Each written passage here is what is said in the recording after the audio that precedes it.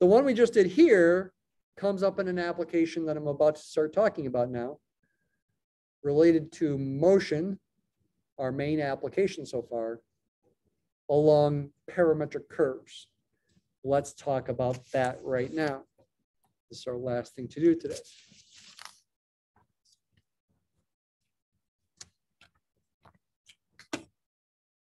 We want to apply now this integral to a situation, a fairly simple situation involving motion along a parametric curve.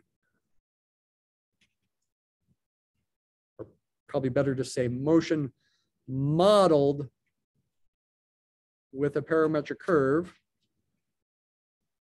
A parametric curve is more than just a curve. It also involves the curve being traced out in a certain way with a certain speed. That's not necessarily even constant, but can vary. Just like a bug walking across the paper might speed up or slow down or turn around, or a bug flying through the air might speed up or slow down or turn around or even try to hover, though they, the bug would fall down if it was not a hummingbird. Well, it's a hummingbird, uh, not a dragonfly. Okay. Parametric curves come from parametric equations. This is why I suggested that you read section 4.8 in chapter 4 before class today. Parametric equations give you x and y coordinates as functions of time. x equals f of t, y equals g of t. And let's take a pretty simple example. Let's say f of t is just t and g of t is t squared. And let's say our goal is to find the distance traveled along this parametric curve, say from time zero to time two find the distance traveled, also called the arc length, from t equals zero to t equals two. And let's say position is measured in, I'm going to imagine a bug, so let's not imagine meters, let's imagine centimeters. and time is measured in seconds.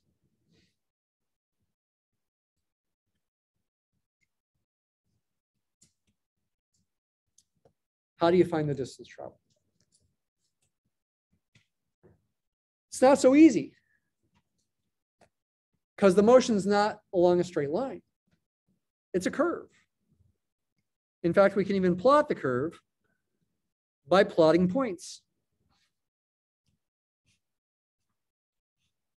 Make a table of values for three variables, t, x, and y.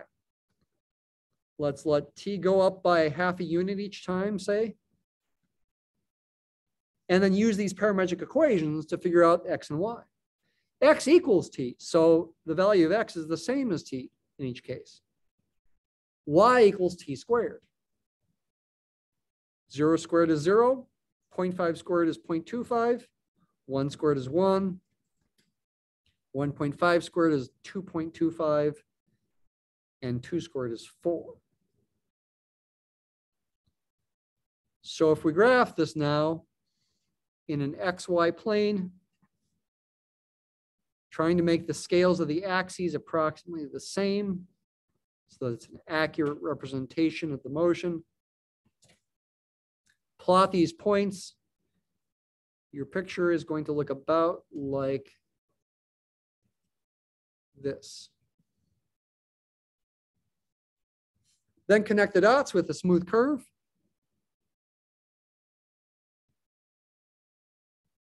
And also draw arrows on the curve indicating the direction of motion as time increases. In this case, the motion is from lower left to upper right, but it could have been the opposite way. It could be leftward or downward motion. That's possible.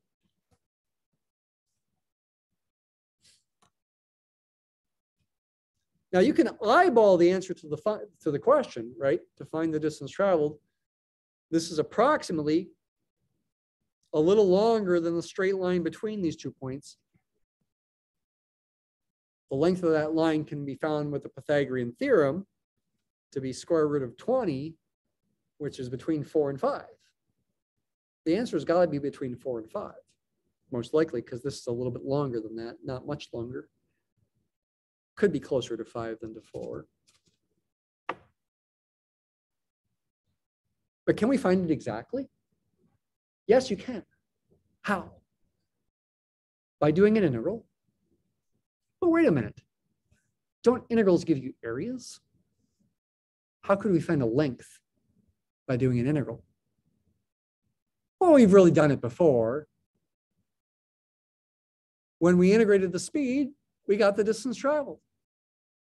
Same principle holds here, except it's two-dimensional motion in a plane. It's the same principle. Though. But that means we need to figure out what the speed is. Speed is the derivative of the distance traveled. It's not so easy because it's a curve. It is speeding up, by the way. For each half second of time, you travel further and further. So the bug is walking faster and faster.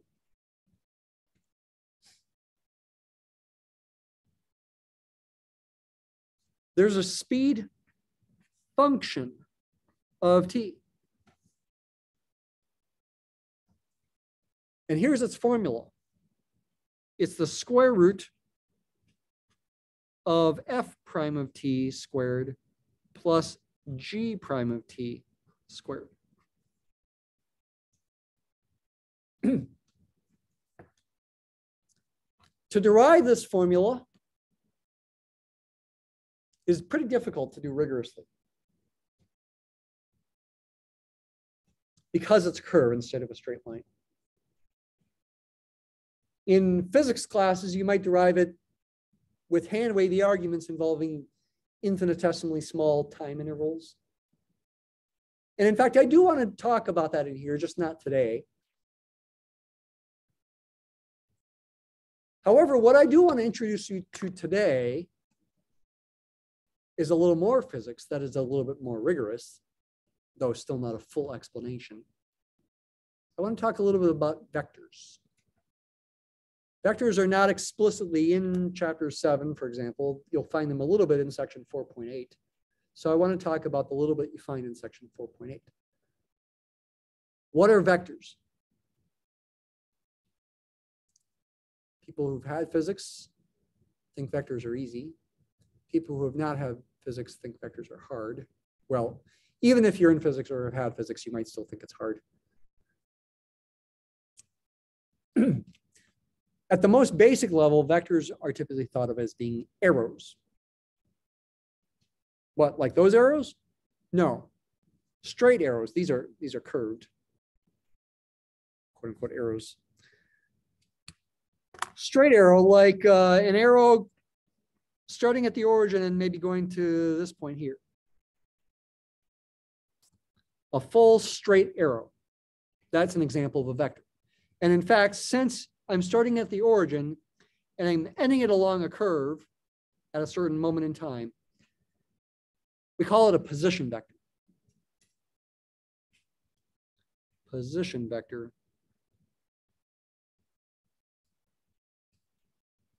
For the motion at a certain moment in time.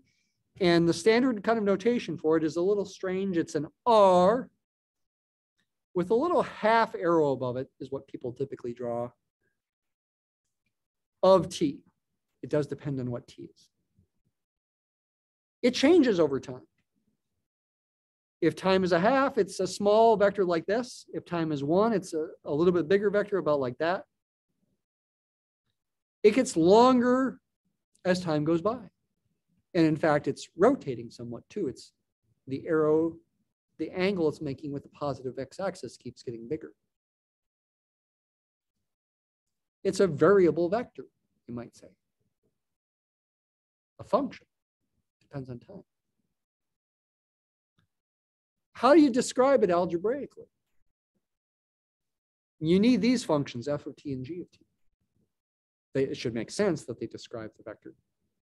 You also need to think in terms of what are called, well, three different ways people describe it. Some people use the word coordinates, just like points have coordinates, x comma y. Some people uh, say component. Other people, like me, say component. I could say component, but I don't know, I just find it easier to say component. These functions are called the, the components of the vector. Essentially, the x displacement in the horizontal direction and the y displacement in the vertical direction. And the way we write the vector in the abstract with those components is we put the first component in front of a symbol called i hat and written like this, and the second component, g of t, in front of another symbol called j hat written like this. And you don't typically bother with the dots above the i and the j. i hat and j hat. What in the world are those? And why are we adding them? i hat and j hat are called the standard unit vectors. i hat points directly to the right and has length 1. j hat points directly upward at a 45 degree angle from i hat and also ha has length 1.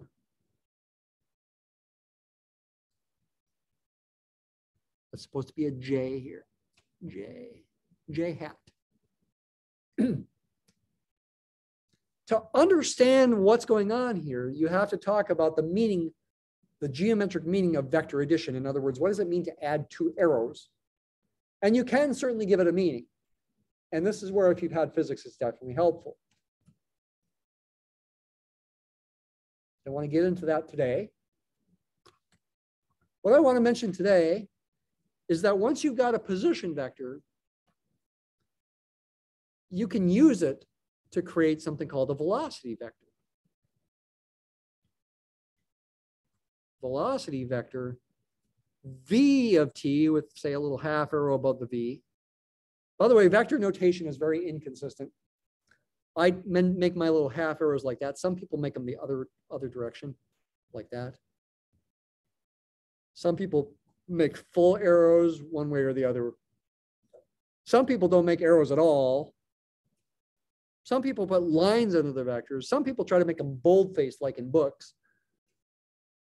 There's lots of different very inconsistent notations for vectors.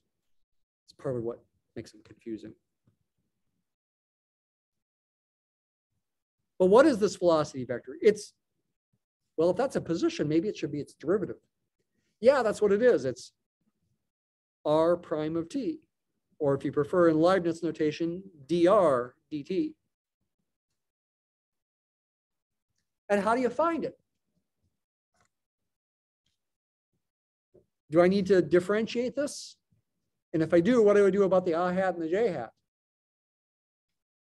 Well, the i hat and the j hat are constant vectors. They just get carried along for the ride. And the plus sign, well, differentiation is still linear. It gets carried along the right for the ride. The answer for the velocity vector is its first component is f prime of t, and that goes next to the i hat. And its second component is g prime of t, and that goes next to the j hat. So for our problem, what are these things for our problem? For our problem, f of t is t, g of t is t squared, the position vector is ti hat the plus t squared j hat. And the velocity vector is 1 times i hat, the derivative of t is 1, plus 2t j hat. In other words, it's i hat plus 2t j hat.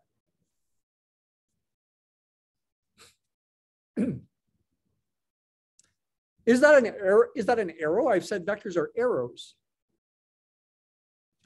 Yes, it can be interpreted as an arrow. And this gets more confusing. While the position vector, it's good to draw with the starting point at the origin. With the velocity vector, it's a good idea to draw it so that the starting point of the arrow is at the location of the bug as it's moving. Because if you do so, the arrow will be tangent to the curve. That's why. It'll be pointing in the direction of motion. I'm not going to draw it, but that's what would happen. I am going to, after class, make a Mathematica, I'll still show you the start of it here, that will animate the motion involved here and that you should download and, and play with, run, make sure you see it. We'll talk about it more on Wednesday. For the moment, though, what's the point? The point is essentially by the Pythagorean theorem, the speed is the length of this vector. Speed is the length or magnitude, it's sometimes called, of the velocity vector v of t. This is not a proof that this is a good thing to do, okay? By any means, this is not a proof. You're just kind of trusting me here that the speed should be the length of the velocity vector. The velocity vector is a vector, it's an arrow. The speed is just an, a number for any fixed t. It's an ordinary function of time that we can graph and find the area under to get the integral and therefore to get the distance traveled. The distance traveled is going to be the integral of the speed, and that would be the area under its graph, but it's not the same as the area under this graph. These are different functions. That's a parametric curve. That's an ordinary function. What does it equal in this case, for our example? For our example, this becomes square root of 1 squared plus 2t squared, which becomes square root of 1 plus 4t squared. And that's why I did this integral. It's a very similar integral to this. Or if I integrate that, it's a very similar integral.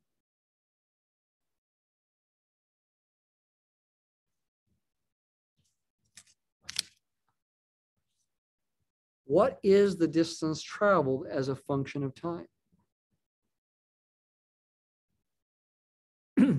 I could write it as an improper integral, but I want to be consistent now with what we did the first week of class, first week and a half. I'd like to write this as a definite integral with a variable upper limit of integration. T up on the top to match the T there. But if I do that, I better use some other dummy variable, oh, like tau again, here. So the distance traveled is the integral from zero to t of square root of one plus four tau squared d tau. And if I had to do that integral by hand, I'd want to use a trig substitution. Back on this problem, I let x equal tan theta. The one here is a little trickier because of the 4. The 4 is 2 squared. Maybe I should let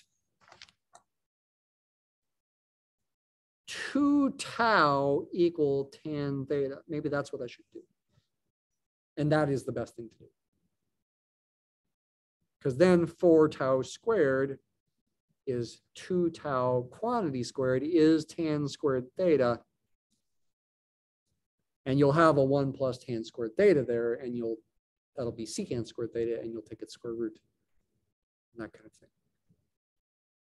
As far as d tau, you're going to have 2 d tau equals secant squared theta d theta. So that means d tau is 1 half secant squared theta d theta. I won't finish it, but you go from there.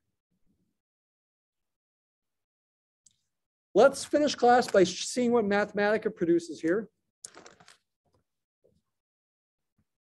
This is going to be the Mathematica notebook that I am going to share with you. And this stuff here, it does represent the setup f of t is t, That's the x coordinate of the point of the bug as it moves. G of t is t squared. There's my r of t. I'm using curly braces and a comma to represent it as a vector in Mathematica, no i hat or j hat. V of t is the velocity, it's the derivative of the position, and here's the speed is the square root of f prime of t squared plus g prime of t squared. Enter all this. Here's a formula for the speed, square root of one plus four t squared. If I do as, a, as an indefinite integral in Mathematica, that's okay. And you by hand, you'd put a plus c, though the c would end up being zero here. However, something a little strange seems to have happened. What's that? Are, is that arc sine? No, there's this extra h at the end. Is that a typo? No, it's not. That's arc sinh. The inverse function of the sinh function. What is the sinh function? Some people have learned about sinh before and some people haven't. The sinh function, S-I-N-H of x, is actually an exponential function. It's this. Weird. What, what, if you've never heard of sinh, you're completely confused. Like, what in the world is that, right? Sinh, huh? Don't worry about it too much let me just say that its graph looks like this. It's one-to-one. It's got an inverse function called the arcsinh function. And it shouldn't be too surprising that if the sinh function involves exponential, exponentials, probably the arcsinh involves logarithms. And that would be matching what we got there. So that arcsinh function is actually some sort of weird logarithm in disguise. But I can confirm what the final answer is here for the distance traveled. In exact form is that involve the arcsinh. And if you approximate that, it's between four and five. About 4.65 for the distance traveled. Okay, so again, I'll make an animation before I put this on Moodle. We will get into more details with animations on Wednesday, and possibly even a Mathematica assignment or something to work on after Wednesday Wednesday's class. Have a good day.